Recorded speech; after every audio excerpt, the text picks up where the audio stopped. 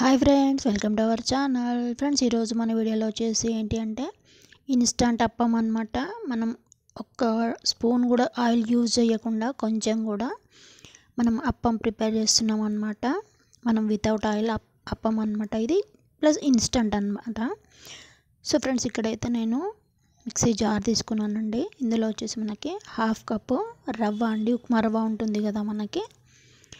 ఆ రవ్వ half cup వేసాను. మీరు క్వాంటిటీ పెంచుకోవచ్చు అనమాట కాకపోతే ఇప్పుడున్న దానికి క్వాంటిటీని బట్టి చేసుకోండి. ఇక్కడైతే నేను టేస్ట్కి సరిపడినంత సాల్ట్ వేసాను. ఇక్కడ వచ్చేసి వన్ టీ స్పూన్ షుగర్ అండి. చక్కెర వేసాను వన్ స్పూను ఇక్కడ వచ్చేసి పావు కప్పు పెరుగు అనమాట మనం హాఫ్ కప్పు రవ్వ తీసుకున్నాం కదా దానికి క్వాంటిటీ వచ్చేసి పావు కప్పు పెరుగు. ఇక్కడ అదే హాఫ్ కప్పు తోటి వాటర్ మనం ఏ కప్పుతో అయితే రవ్వ వేసామో దాంతో వాటర్ వేస్తున్నాను. ఇది ఏం చేయాలంటే మనం ఇప్పుడు మిక్సీ పట్టాలి ఫ్రెండ్స్. ఒక రెండు నిమిషాలలో మిక్సీ పట్టామంటే మనకు ఇలా వస్తుందన్నమాట. మన దోశ బటర్లాగే లాగా ఉంటుంది ఇది. సో ఇందులో వచ్చేసి ఒక హాఫ్ టీ స్పూన్ అంతా ఈనో యాడ్ చేస్తున్నాను నేను.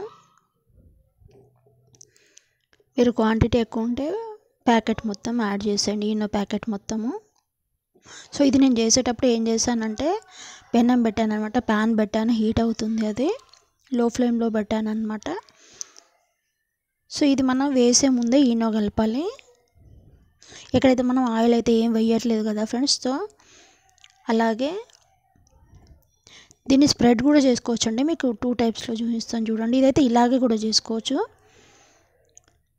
సో ఇది కొంచెం మనకు కలర్ఫుల్గా ఉండాలంటే మనం ఏం చేద్దాం అంటే కొంచెం చిన్న చిన్నగా కట్ చేసిన కొత్తిమీర యాడ్ చేస్తాము చూడడానికి కూడా బాగుంటుంది అనమాట గ్రీన్ కలర్ ఏంటంటే అట్రాక్టివ్ చేస్తుంది అనమాట మనకి. సో అందుకని గ్రీన్ కలర్ వేసాను అనమాట కొత్తిమీర వేసాను నేను.